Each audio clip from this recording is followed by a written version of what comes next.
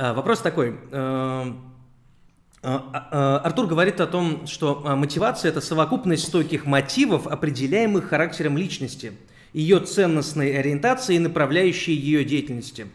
Вот. О чем вопрос? Артур считает, что первое определение, вот, вот это определение мотивации, оно волевое. Его так и хочется назвать волей или силой воли.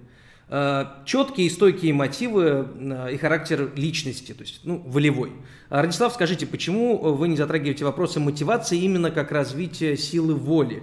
Ведь наш э, термин «воля» немного объемнее западной мотивации.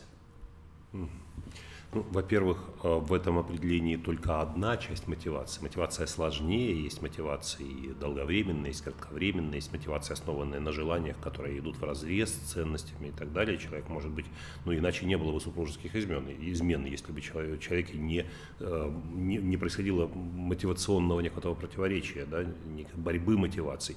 А очень короткая, но интенсивная, да, и очень э, там, основанная на желании, и очень такое стабильное, стойкое, там, основанное на верности. Верность является ценностью, да, а потом вспыхивает желание физиологическое, которое очень сложно преодолеть. И человек оказывается вот в таком э, противоречии побеждает порой, э, порой побеждает ценностная э, сторона мотивации, порой побеждает, ну, ясно выражаюсь, да? Да, да, да. Порой побеждает вот это та самая телесная, кратковременная и человек э, уступает ей.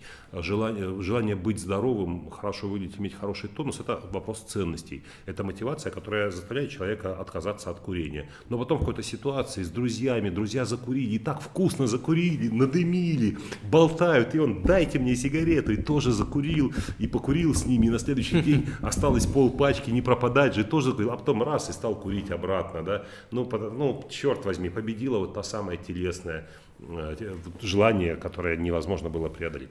Но мотивацию э, так вот простым определением мы не закроем эту тему. Вопрос воли. Воля – это как раз не составляющая мотивации, а то, что ей противостоит. Когда есть мотивация, воля не нужна. Когда вам очень хочется закурить, есть сигареты, и у вас там есть мотивация, вы курите себе. Воля нужна, чтобы не закурить, при всем при том, что есть мотивация закурить. Э, воля для того-то и нужна, чтобы преодолевать мотивацию. И как раз э, тренинг Self-Made Man, самоменеджмент, самомотивация, там четверть тренинга посвящена вопросам развития воли. Мы делаем упражнения, которые э, влияют на э, волю. Мы обсуждаем, что это за механизм такой, для того, чтобы участники тренинга могли осознанно этот механизм использовать. Воля необходимейшая часть существования человека. Я сегодня гулял с собакой и как раз размышлял о воле и подумал, вот воля, э, есть ли воля у собаки? Да? Вот может ли собака сесть полмиски, потом сказать, достаточно, я и так слишком жирная. И вот при нет, она съест столько, сколько ей насыплет. Может ли собака, например, выполнять физические упражнения, чтобы просто ну, войти в форму? Я э, гулял с собакой, потом у меня такой есть интенсивный там некие упражнения делаю, что-то вроде зарядки. Собака, например, ложится на траву и катается на спине. Вместо того, чтобы делать зарядку, да, странная собака, нет у них воли. Воля – это человеческая черта. Воля, человеческая черта, то, что делает нас в конце концов человеком. Кстати, э, в нашем языке слово воля означает не только э, морально-психологическое усилие над собой, но и означает свободу. Да, говорят, вольная воля, вышел на волю, волей не поступлюсь.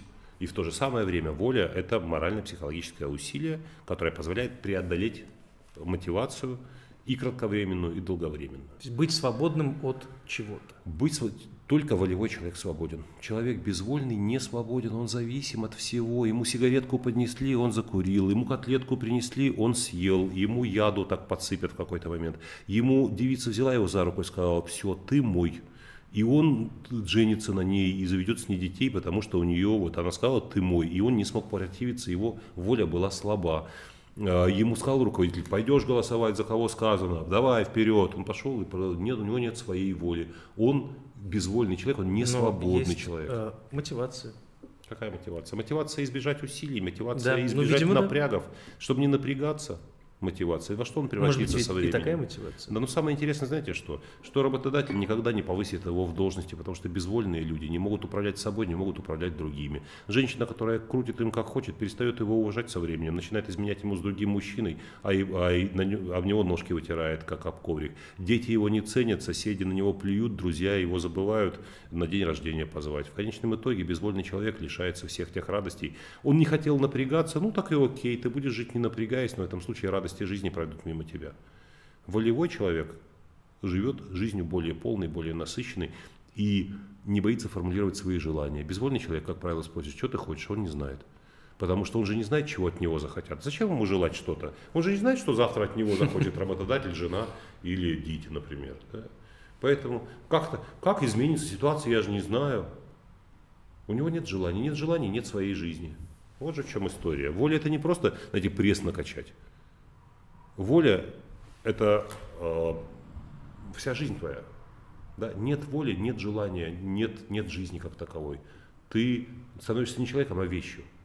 Тебя как чемодан могут взять за ручку и переставить с места на место. А не закрыли чемодан, так открытый простоишь всю жизнь. Вещь. Это, кстати, Толстой, Толстого мысль. Что человек, который говорит, я не могу совладать со своими желаниями, становится не человеком, а вещью.